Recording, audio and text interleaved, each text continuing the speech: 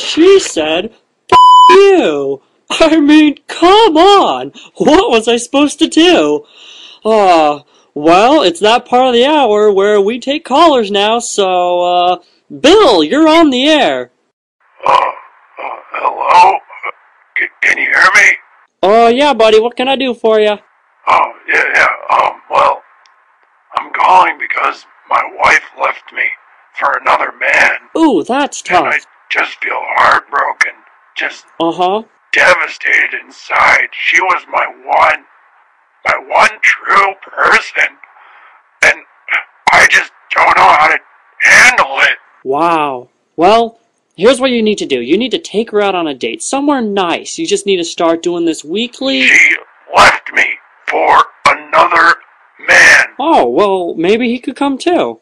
You know? Get that group atmosphere going. You are a Oh, oh, crap. Dang it. Oh, sorry about that, folks. We're having some technical difficulties. Uh, our, uh, our next caller. Yeah, um, you're on the air. What's your name? What the hell do you think you're doing, Ash? You have no right giving advice to these people. Oh, ouch. Oh, wow. Oh, I really need to learn which button is the kill switch.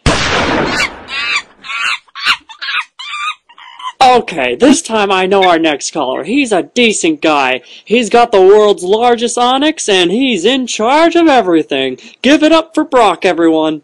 Hey, Ash, do you want to see my Onix? Dude, I've seen your Onix.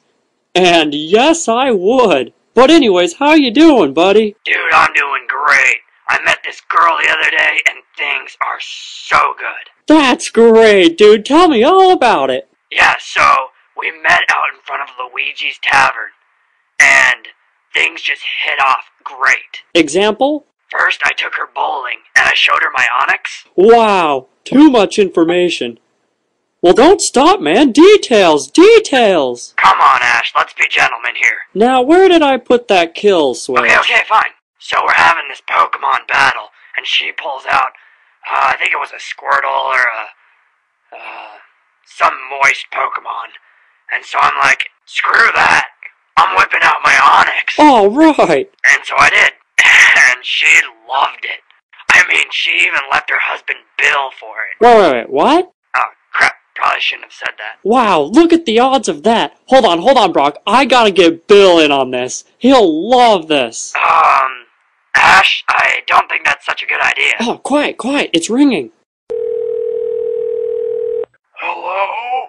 Hey, Bill, it's Ash Ketchum from Good Morning Pallet Town. The nerve you have calling me.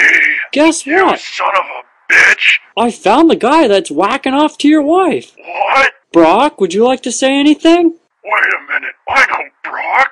He lives next door. Oh, he's dead. Well, this conversation's going nowhere.